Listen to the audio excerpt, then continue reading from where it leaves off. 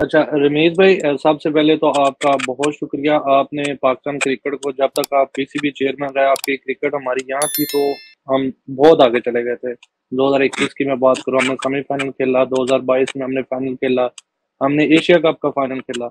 उसके लिए thank you so much उसके बाद पीसीबी चेयरमैन बदलता है, हमारी क्रिकेट बहुत नीचे चली जाती है। हम ओडीए वर्ल्ड कप की बात करें, हम एशिया कप की बात करें हम अभी इस वर्ल्ड कप की बात करें तो हमारी क्रिकेट अभी कहाँ स्टैंड करी? अगर आप इसी जगह पे पीसीबी चेयरमैन होते तो आप क्या काम करते? क्योंकि पाकिस्तान टीम का प्रॉब्लम नहीं है ये सिस्टम का प्रॉब्लम है। ठीक है? उसके बाद मोहम्मद हारिस एक लड़का था हमारे पास जो बंदे ने प्रूव किया अपने आप को वर्ल्ड कप में ऑस्ट्रेलिया में कि मैं सबसे बड़ा प्लेयर और मैं पाकिस्तान का मैच विनर हूँ। ठीक है? आप उसको कैसे नजरअंदाज कर सकते हो? एक आज़म के लिए जिस बंदे ने कोई परफॉर्मेंस ही नहीं दी हुई, कहीं पे भी, आप लीग्स पे कैसे बंदे को पिक कर सकते हो? तो मेरा क्वेश्चन ये है और दूसरी बात यह है कि बाबर आज़म पे सोशल मीडिया पे बहुत तनकीद हो रही है। एक बाबर आज़म ही हारने की वजह।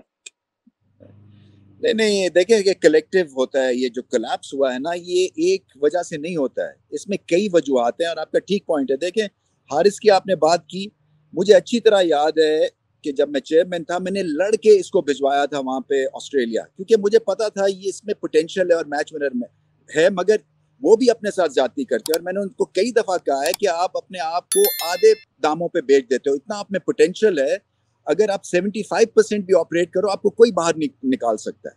और फ्यूचर है वो हमारे इस तरह के बल्लेबाज हैं बट वही बात है साय मयूब हो गया या हारिस हो गया ये हमें पंद्रह रन के प्लेयर्स नहीं चाहिए। मैं कई दफ़ा कह चुका हूँ कि इसमें जो है, इनका जो जो इनका जो स्कोप है ना, वो लंबा होना चाहिए। तो यहाँ पे हमें मार पड़ती है। ये बड़े बेसिक एरर्स हुए हैं फ्रॉम द मैनेजमेंट देखिए ना, अगर मैं चेयरमैन हूँ और मैं दो क्रिकेटर्स के हवाले अपनी पूरी क्रिकेट को कहता हूँ जी आप चलाएँ तो फिर फ़ायदा क्या उसका? उसका कोई फ़ायदा नहीं है। इसलिए कि आपको फिर ग्रिफ नहीं रहती और फिर जब देर हो जाती है, फिर डिसीज़न मेकिंग के ऊपर आप सोचते हैं कि नहीं नहीं, वो ठीक नहीं था।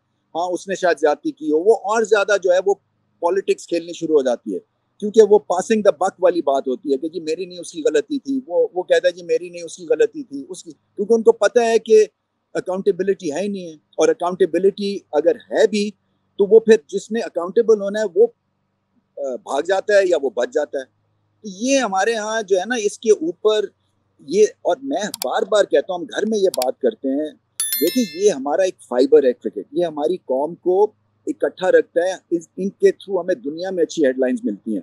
हम इसको एमेचोरिश तरह से डिसीज़न मेकिंग नहीं कर सकते हैं।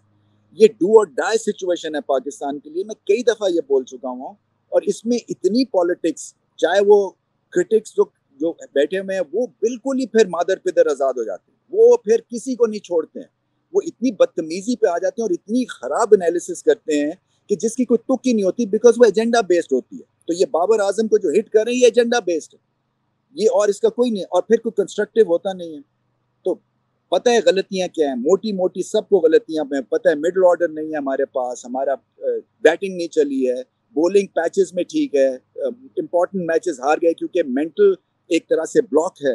तो ये हमारे सामने है फिटनेस इश्यूज़ हैं। और कईयों को क्यों जंप करवा के टीम में लेके आ गए हैं? कई जो हैं वो लाइन में खड़े रह गए और बाहर हो गए हैं। सो इस तरह से जब आपको ये फैंस को भी ये मोटी मोटी चीज़ें पता है तो फिर इसको ठीक क्यों नहीं किया गया? और ये लग रहा था, देखें, ये आग तो लग चुकी थी ना, ये बस जब भी मैं और हमेशा मैं ये बात करता हूँ कि जब आप भारत से हारते हैं ना तो आपको आइडिया हो जाता है आप कितने पानी में जब हर महीने के बाद भारत हमसे 12 महीने आगे निकलता है।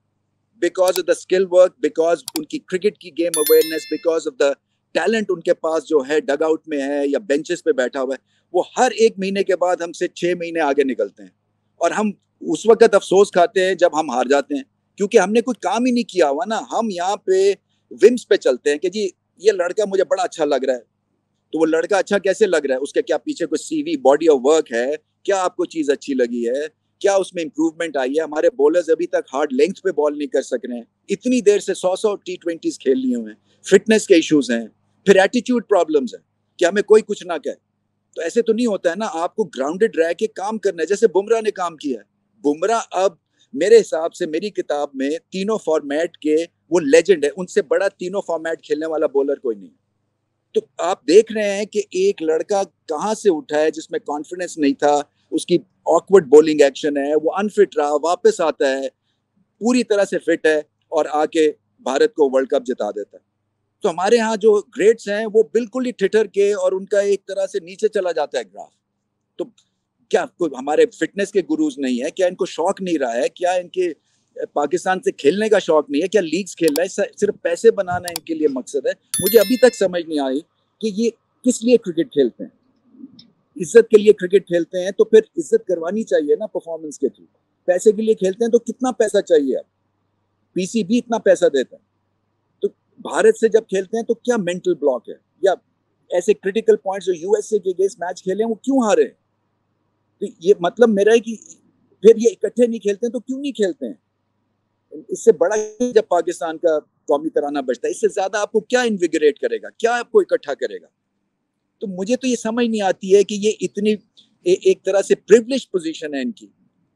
कोई भी अपना दाया हाथ दे देगा इनकी जगह पे आने का और जब ये खेलते हैं तो ऐसा लगता है कि मूड ही नहीं है इनका आज।